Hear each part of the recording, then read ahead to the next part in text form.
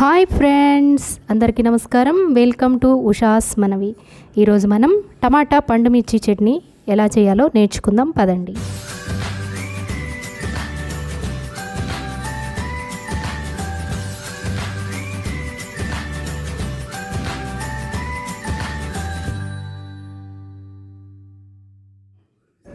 మనకు పండు మిరపకాయలు ఎక్కువగా దొరికే సీజన్లో మనం ఈ పండు మిర్చితో రకరకాల చట్నీలను మనం రెడీ చేసుకోవచ్చు. వాటిలో మనకు నోరూరించే ఎంతో అందరూ ఇష్టంగా తినే చట్నీ టమాటా పండు మిర్చి. దాన్ని ఎలా తయారు చేసుకోవాలో మనం నేర్చుకుందామండి. ఒక హాఫ్ కిలో టమాటాలు తీసుకున్నాను. దానిలో ఒక హాఫ్ స్పూన్ పసుపు అలాగే ఒక స్పూన్ ఉప్పు వేసుకొని బాగా కలుపుకోవాలి. చక్కగా ముక్కలన్నిటికీ చక్కగా పట్టేలా కలుపుకొని దీన్ని మనం ఒక రాత్రంతా అలానే ఉంచేసుకోవాలండి. బాగా కలిపేసి పక్కన పెట్టేసుకోవాలి. మూత పెట్టి ఉదయం కల్లా ఈ టమాటాల్లో ఉన్న నీరంతా బయటకు వచ్చేస్తుంది. బాగా ఊరిపోతాయి ఇవన్నీ. ముక్కలకి బాగా ఉప్పు పసుపు అనేది పడుతుంది. వీటిని ఈ చట్నీ మనం తయారు చేసుకోవాలంటే ఈ టమాటాలను నైట్ కట్ చేసుకొని ఈ విధంగా ఉప్పు పసుపు కలిపి పెట్టుకొని ఈ విధంగా మార్నింగ్ ఓపెన్ చేస్తే ఈ విధంగా నీరు అనేది ఊరి ఉంటుంది. కనిపిస్తుంది కదా మీకు? ఈ విధంగా నీరు ఊరుతుంది.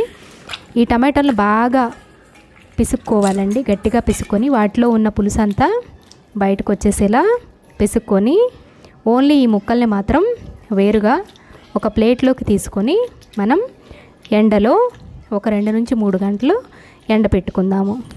దానికి ముందుగా మీరు మా వీడియో నచ్చినట్లయితే తప్పకుండా సబ్స్క్రైబ్ చేయండి. బెల్ ఐకాన్ని ఆన్లో పెట్టుకోండి.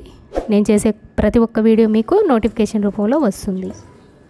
చూశారు కదా ఈ విధంగా పులుసు అనేది వచ్చింది. ముక్కల్ని ఈ విధంగా సపరేట్గా ఒక ప్లేట్లో పెట్టుకొని ఎండలో ఒక రెండు మూడు గంటలు ఎండబెట్టుకోవాలి లేదా నీడలో పెట్టుకున్న ఒక ఐదు ఆరు గంటలు నీడలో పెట్టుకుంటే సరిపోతుంది. దీనిలో మనం పులుపుకు సరిపడా చింతపండు వేసుకోవాలి. ఎందుకంటే ఆల్రెడీ పండు మిర్చి రుబ్బినప్పుడు కూడా కొంచెం చింతపండు వేసుకున్నాం కాబట్టి అలాగే టమాటాల్లో కూడా పులుపు ఉంటుంది కాబట్టి చింతపండు కొంచెం తక్కువగానే వేసుకుంటే బెటరు. ఈ విధంగా చింతపండుని ఈ పులుసులో వేసుకొని పక్కన పెట్టుకోవాలి. చూశారు కదా ఈ విధంగా ఈ టమాటాలు ఎండిపోయాయి. బాగా గట్టిగా ఎండవలసిన అవసరం లేదండి.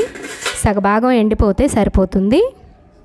ఈ పులుసు కూడా రెడీ అయిపోయింది. అంటే చింతపండు నానిపోయింది. ఇప్పుడు వీటన్నింటిని మనం గ్రైండ్ చేసుకుందాము.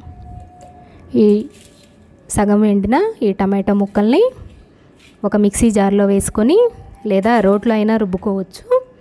మనకి రోలు అందుబాటులో లేకపోతే మిక్సీలో అయినా చేసుకోవచ్చు. ఈ విధంగా ఈ టమాటా ముక్కలన్నింటినీ ఒక మిక్సీ జార్లో వేసుకొని దీనిలో మనం ముందుగా చింతపండు నానబెట్టి ఉంచుకున్నాం కదా టమాటా పులుసులో దాన్ని కూడా కొంచెం కొంచెంగా వేసుకుంటూ రుబ్బుకోవాలి. అలాగే ముందుగా రుబ్బి పెట్టుకున్న పండుమిర్చి పేస్ట్ను కూడా దీనిలో మనం యాడ్ చేసుకోవాలండి. ఒక త్రీ ఫోర్ స్పూన్స్ వేసుకుంటున్నాను. మన కారాన్ని బట్టి మనం వేసుకోవచ్చు. పండుమిర్చి ఎక్కువ కారంగా ఉంటే ఒక రెండు నుంచి మూడు స్పూన్లు సరిపోతుంది. లేదంటే ఒక ఫోర్ స్పూన్స్ అయినా వేసుకోవచ్చు. ఇది కొంచెం మీడియం ఉందండి కారం. అందువల్ల నేను ఫోర్ ఫుల్ స్పూన్స్ వేసుకున్నాను. టేబుల్ స్పూన్తో నాలుగు స్పూన్లు వేసుకున్నాను. వీటిలో కొన్ని వెల్లుల్లిపాయలు వేసుకోవాలి. అంటే ఒక ఫుల్ రెబ్బంతా వేసుకుంటే సరిపోతుంది. పాయకపాయ వెల్లుల్లిపాయ వేసుకుంటే సరిపోతుంది.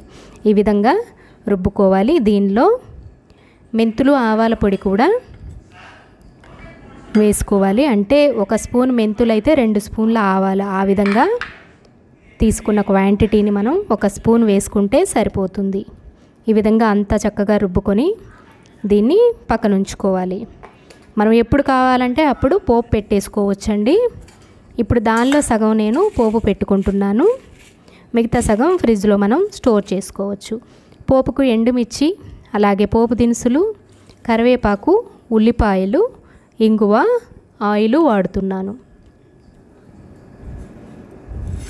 మనం ఎంత చట్నీ కావాలో అంత చట్నీ తాలింపు పెట్టుకోవడం కోసం ఆయిల్ వేసుకున్నాను. అలాగే పోపు దినుసులు ఎండుమిర్చి వేసుకున్నాను. దీనిలో ఎండుమిర్చి గింజలు కూడా కొంచెం ఎక్కువ క్వాంటిటీలో వేసుకుంటే చాలా టేస్టీగా ఉంటుందండి చట్నీ. పోపుని బాగా వేగనివ్వాలి అప్పుడే చక్కగా ఉంటుంది టేస్ట్ అనేది. చూసారు కదా పోపు బాగా వేగిపోయింది. దీనిలో ఒక చిటికడి ఇంగువ కూడా వేసుకోవాలి. అలాగే ఉల్లిపాయ కరివేపాకు వేసుకోవాలి. వీటిని కొంచెం దోరగా వేయించుకోవాలి. ఉల్లిపాయలు వేసుకోవడం ఎందుకు అంటే ఉల్లిపాయలు వేసుకుంటే చట్నీ అనేది చాలా చాలా టేస్టీగా ఉంటుందండి. చట్నీలో ఉన్న పులుపు కారం ఉప్పు ఇవన్నీ ఈ ఉల్లి ముక్కలకు పట్టి తింటూ ఉంటే చాలా టేస్టీగా ఉంటుంది చట్నీ. మీరు కూడా తప్పకుండా ఈ విధంగా ఒకసారి ట్రై చేయండి. మీకు నచ్చినట్లయితే తప్పకుండా మా ఛానల్ని సబ్స్క్రైబ్ చేసుకోండి లైక్ చేయండి వీడియోని అలాగే మీ అభిప్రాయాల్ని కామెంట్ బాక్స్లో తప్పకుండా మర్చిపోకుండా రాయండి. ఈ విధంగా చక్కగా మనకి ఎంత చట్నీ కావాలో అంత చట్నీ వేసుకొని మనం ఫ్లేమ్ లోలో పెట్టుకొని వేయించుకోవాలి.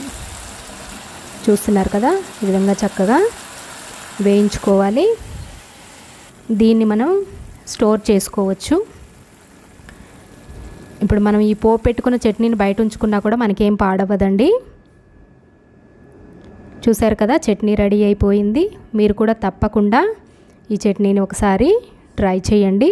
చాలా చాలా టేస్టీగా ఉంటుందండి. వేడి వేడి అన్నంలోకి అయితే సూపర్గా ఉంటుంది. అలాగే ఇడ్లీలోకి దోశల్లోకి ఈ విధంగా టిఫిన్స్లో కూడా చాలా మంచి కాంబినేషన్ అండి.